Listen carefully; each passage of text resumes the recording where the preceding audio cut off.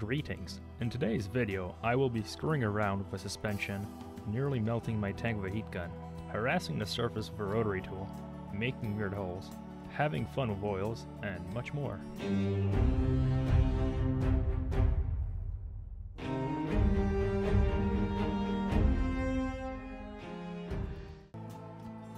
I'll be working on this Amusing Hobby Hori tank destroyer completely out of the box.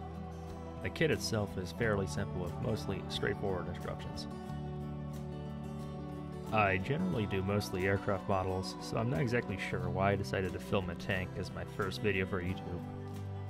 I will be trying a lot of new and off techniques on this thing, so it should be fun. For gluing pieces together, I'm a big fan of using Mr. Cement S, as it dries much faster than uh, standard cements. Since the suspension is fully workable, I'm putting on these caps by gluing the whole thing together. To make sure this thing doesn't fall apart later on, I'm putting the tiniest amount of glue at the end of the cap.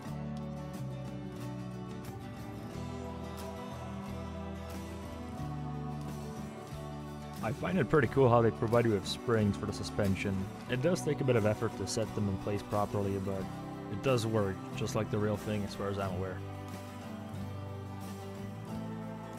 With this tank in particular, I'm not terribly worried if I don't think everything historically accurate since it never really existed. The Japanese did make a wooden mock-up towards the end of the war, but uh, that's about it. Now here I do a little bit of cheating. Instead of sanding all these radials manually, I load them up in my rotary tool and I get to work.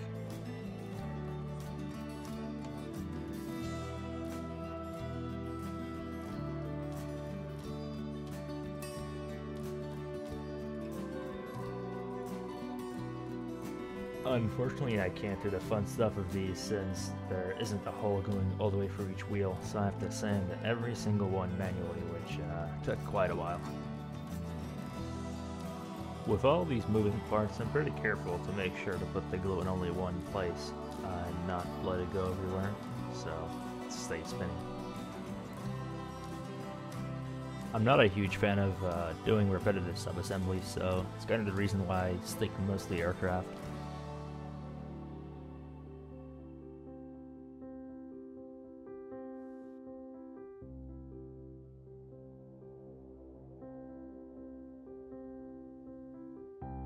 Haven't built a kit with this much workability before, but it was quite an enjoyable process, not to mention how satisfying it is playing around with it.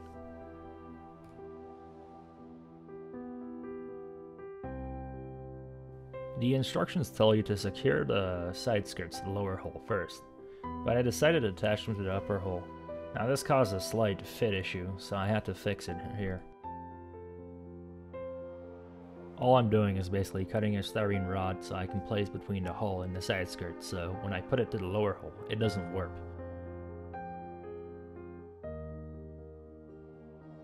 And as you can see, no more gap between both hulls.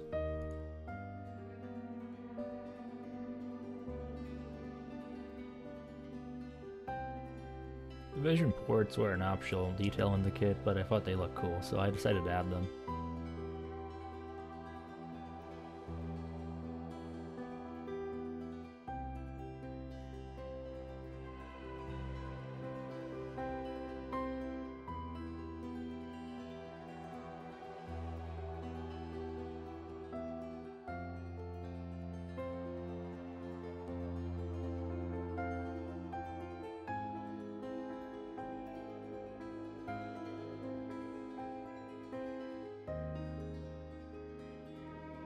Now here we've got some metal photo-etch parts for the exhaust grills. I cut these off with a sharp blade and a chunk of hard acrylic. Some people recommend using a ceramic tile, but that doesn't work too well because it dulls the blade way too quickly. I bend them into shape using uh, some pliers on my hands. For attaching them I use simple super glue.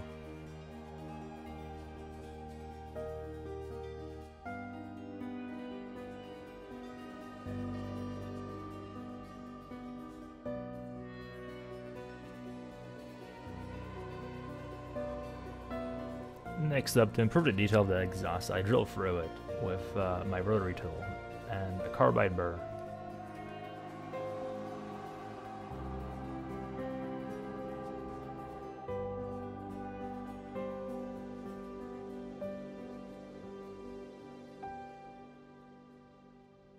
I used some plastic cement to soften the detail where I cut it. And as you can see, it was definitely worth the extra 5 minutes, because the difference is pretty significant. Since I intend on weathering this thing pretty heavily, I just poke and slash with an X-Acto blade to add some wear to the grate. The main thing you should keep in mind when doing this kind of damage, or any other really, is to make sure to keep the cuts and holes random so it doesn't look consistent, because then it will look pretty natural.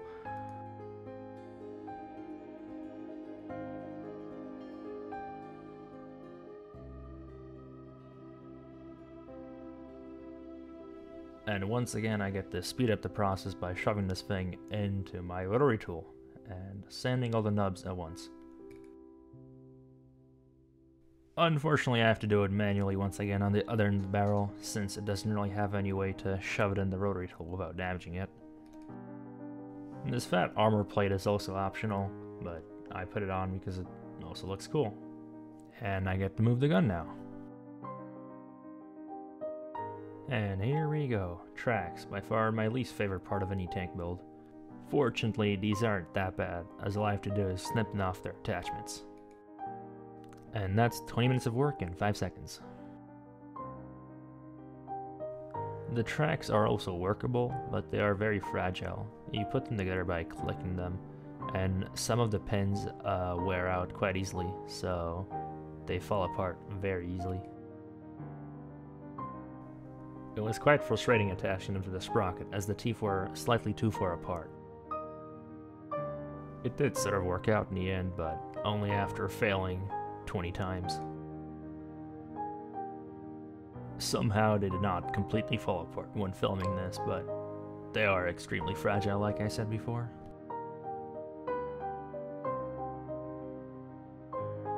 Next up, I'll be thinning down the plastic around the fenders with my rotary tool using carbide burrs.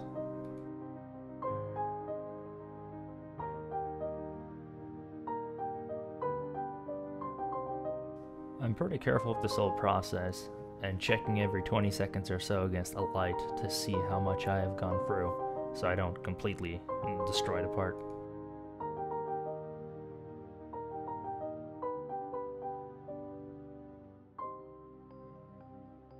The front fenders get the same treatment, and the whole reason why I'm doing this thing is so I can melt them and add battle damage and kinks and bends into the fenders so they look like they've been worn and used. I recently bought a heat gun, so I'll be trying it here for the first time, so uh, don't blame me if I screw it up completely.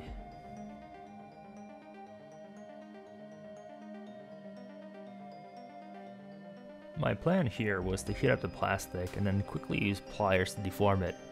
Turns out the heat on its own warps the fenders pretty realistically.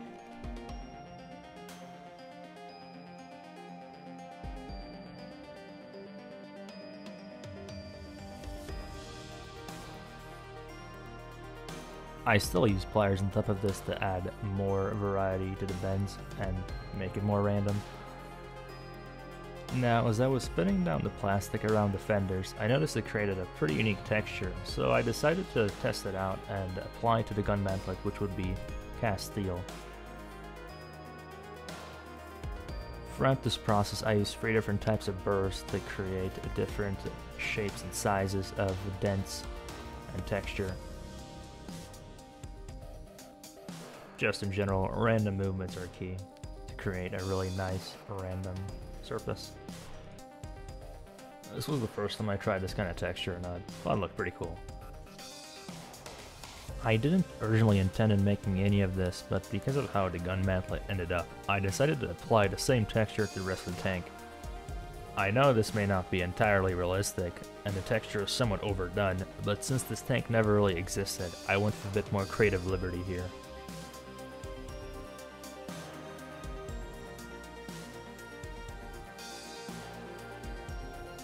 After obliterating the entire surface, I had to rescribe some of the lines.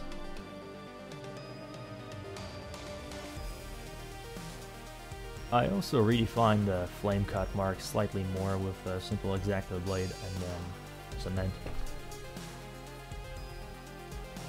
On this tank, the road have rubber edges which look a little too pristine, and in real life would generally get worn out. And since I'm very lazy, I do the quick way of just stabbing at them with my rotary tool.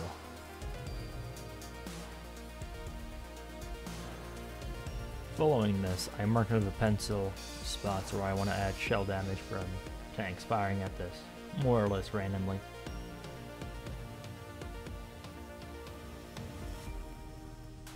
I did most of the carving with a smaller round burr.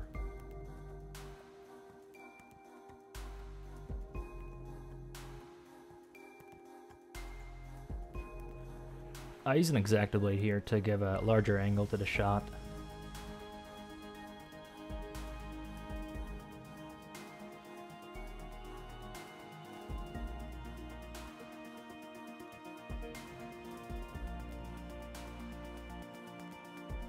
Next up, I'll be creating the effect of metal being displaced after shell hitting it.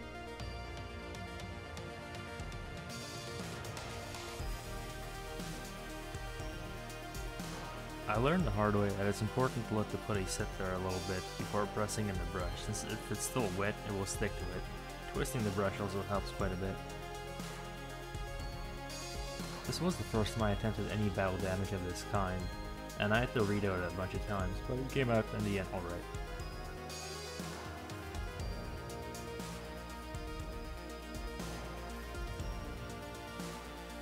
Now, after all that work, I get to painting. For priming the surface, I'm using a lacquer primer, Mr. Surfacer 1500. I have a premix bottle here with Mr. Leveling Thinner ready to go. There are a few reasons to prime our models. Primarily, it provides a good base for following paint, but it also unifies the surface and allows you to spot any imperfections.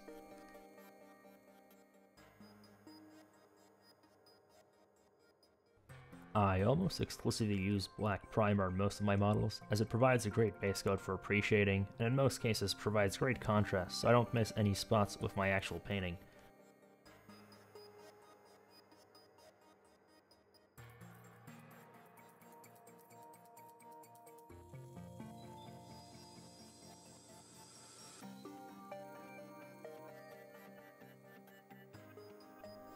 Priming the tracks is a bit more tedious as there is a greater length of them, and you have to make sure to paint each crevice. Across all parts of this tank, I'm making sure to get into every nook and cranny. It's especially more important at this stage since missing spots with future layers of paint will just look like shadows, while it would look rather odd with bare plastic showing through.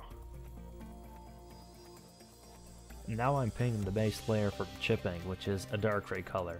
I mixed this thing a while ago, so honestly I can't tell you exactly what shade it is.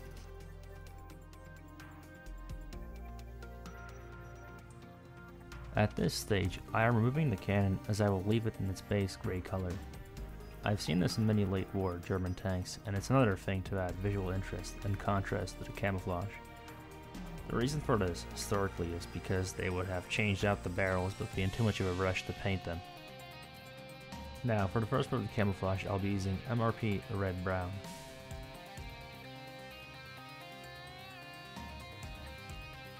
Now, you might think that I just wasted my time painting in the gray, since I have nothing between the two paints. But I will be using a pretty unique weathering technique later on, so it'll all make sense soon. While the red-brown color from MRP is specifically for German armor, I found it to be a pretty close match to the Japanese primer, which is also a similar reddish brown. Next up, I will be masking the camouflage. I'm using Tamiya masking tape to do this. I'll be making a splinter scheme of a red primer color. What inspired me is very late German urban splinter camouflage and this tank from World of Tanks. I really like how this fictional camouflage looked with red primer color on top of a darker brown. I decided to replicate that except for the whole tank. I don't play that game, but it does have some interesting and unique schemes. Except for that front part, I'm doing everything on the fly, so I didn't plan any of this chem ahead, apart for the upper mantlet that I copied from the tank skin. When doing a camo like this, it's pretty important to make sure most of the splinter edges don't form parallels or direct perpendiculars as it will look odd in the end. I will be using once again this German primer red color from MRP on top as it contrasts the brown quite nicely. I'm spraying this top layer in lighter coats because I don't want it to react with the bottom layer as it might ruin the chipping effect I'll be trying later on. Lacquers when sprayed wet will melt the bottom layer slightly, which in most cases is not an issue, and even creates better adhesion, but here I want it to be more separate.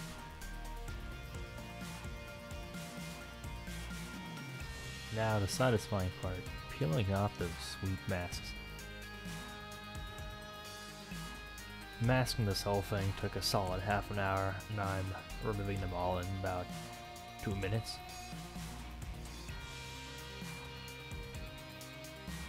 It's pretty great seeing the entire camo coming to shape after playing these things off.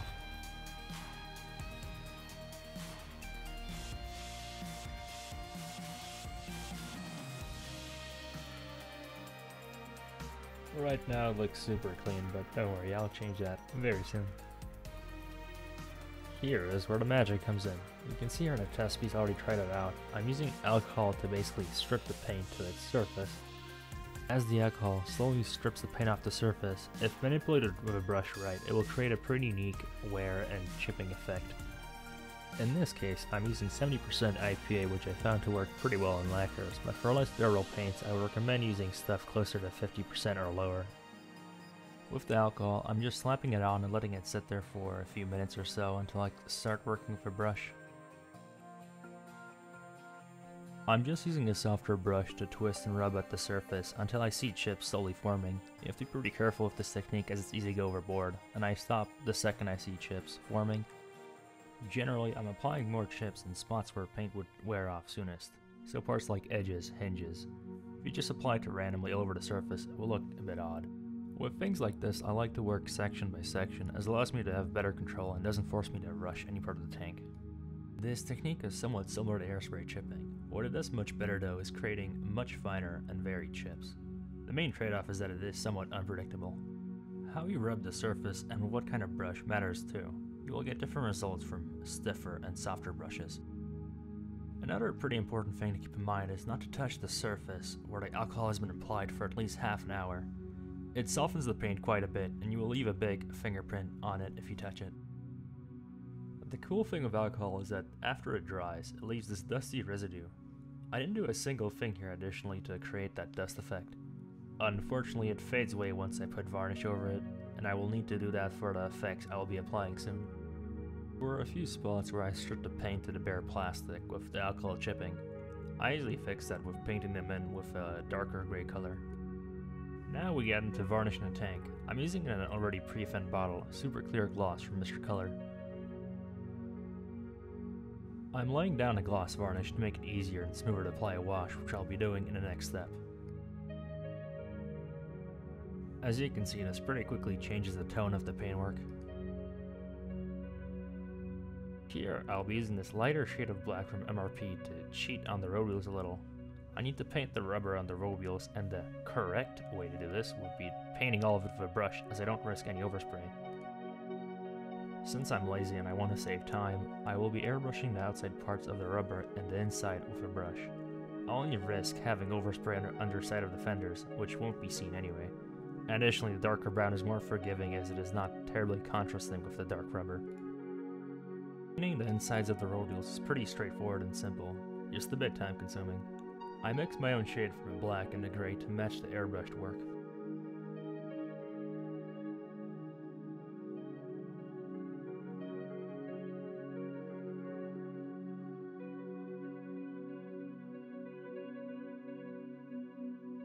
Next up, I'll be using burnt umber and black oil paints mixed with odorless thinner. I rarely mix these things by exact ratio, so after a certain time of doing this, you get a decent feel for how much to add.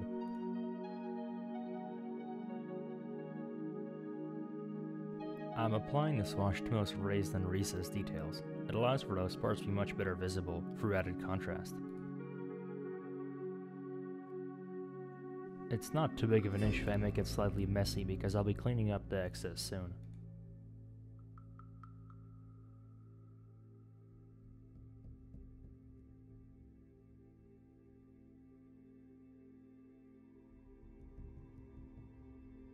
Now I'm just using this makeup sponge, dampened and odorless thinner to clean off the excess wash.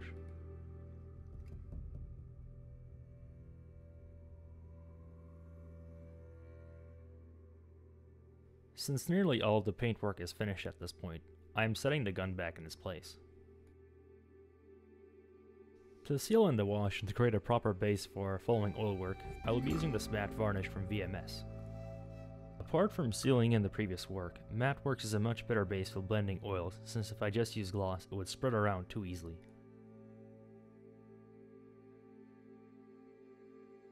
I will now use these oil colors to create an oil dot filter. I am spreading these on top of a piece of cardboard and letting them sit there for half an hour in order to let some of the linseed oil seep out. This makes it easier to work with and dry faster.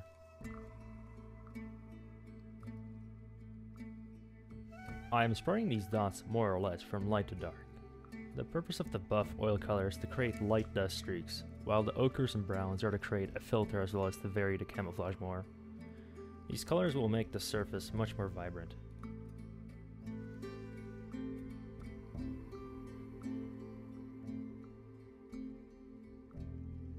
Once those are applied, I'm streaking the dots up and down a brush, just barely dampened with odorless spirit. It is important not to use too much since then you will completely wipe off the oils.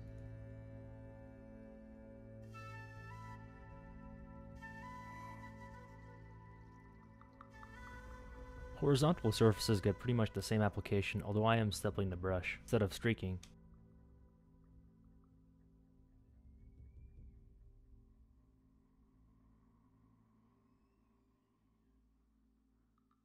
After being finished with the oil dot filter, I applied a light coat of the same matte varnish to seal it in. While the filter did add a lot of depth, I will now be using this black oil paint to create artificial shadows and contrast. This will make it even more visually interesting. I'm applying the black oil paint straight out of the tube and then blending it with a different brush moistened with odorless spirits. While blending, I like working slowly from the outside and pushing the paint in so I can get somewhat of a gradient.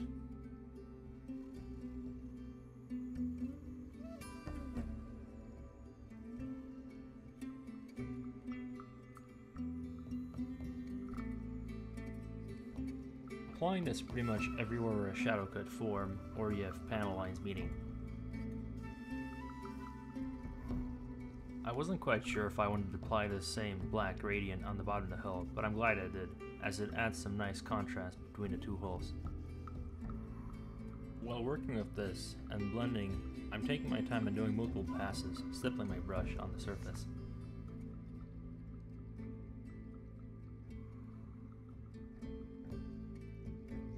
Doing this helps outline the shape of the tank more and adds a lot of visual interest.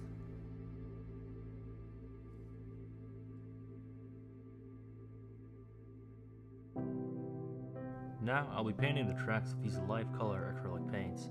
I'm loosely following Night's tutorial, so check that out for a much better idea. This video is pretty great. This will be my first time using these paints. I may not get it perfect. I'm just fitting these and slapping them on. Nothing more to it. I'll be working my way from light to dark to create a nice rusty effect. So far it's just yellow.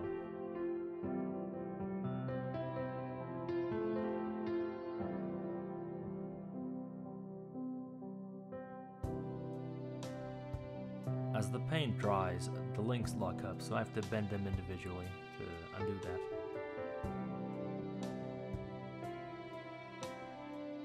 I'm stippling the third color just with a brush to create more variation in the shades.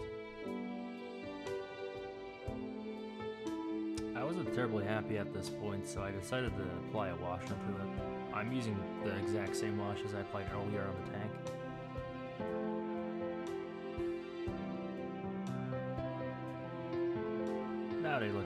Presentable. I painted the exhaust this random brown color, but unfortunately I lost the footage, so you'll have to just imagine it for yourself.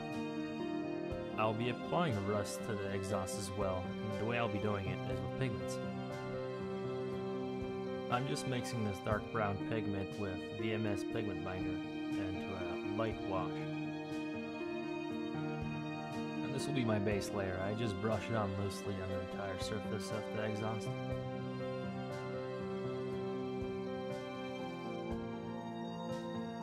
I then take a lighter shade of rust and stipple it on loosely, not covering the whole surface, but more or less randomly. Add a lighter rust pigment, stippling out even less, but just to create some variation, and once it dries it should look pretty good. I like this method because it not only creates visual but also physical texture, plus it's pretty fast. To fix this into place I'm using medium thickness super glue. And yes, I now have Cheeto fingers from the rust pigment. Now it's time to add some exhaust stains. Similar to the contrast thing I did earlier, I'm just applying black oil paint, although this time I'm applying it on its own without blending it using additional means.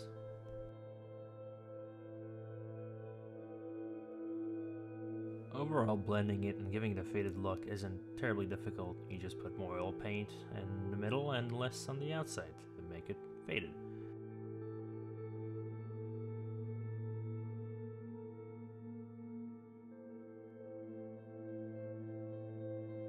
And since I already got it out, I'm just using it to add some additional shadows to the exhausts. Now I'll be creating the polished track effect, and the application is slightly similar to the pigment I used earlier. I use the same VMS binder and brush it on.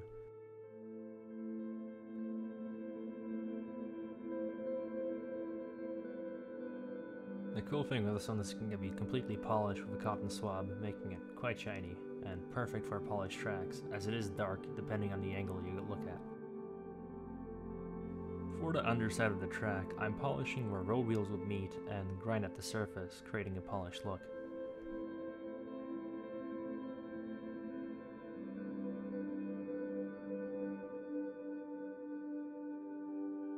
Nice and shiny. Sprocket's teeth also get polished since they grind away at the track constantly.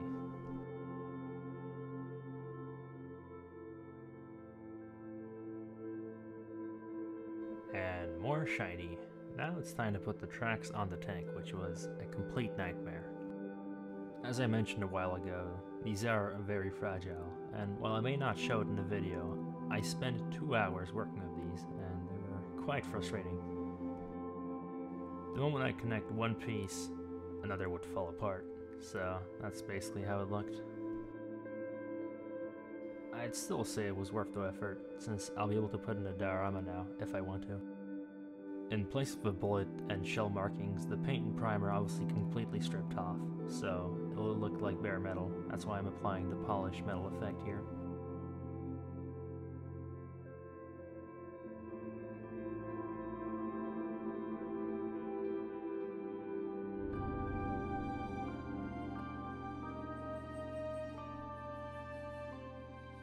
Also applied to edges, hinges, nuts, exposed details, anything that could scrape off or get worn out more easily. And with these final touches, this thing is nearly finished.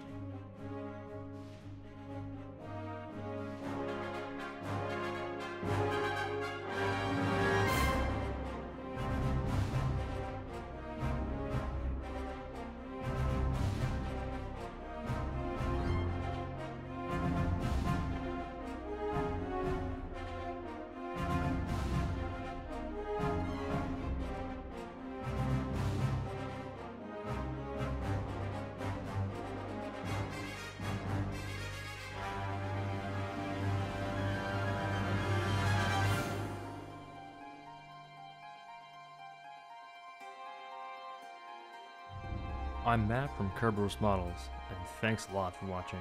If you enjoyed this video, I'd really appreciate leaving a like and subscribing. If you got any questions, I'd be more than happy to answer any of them in the comments.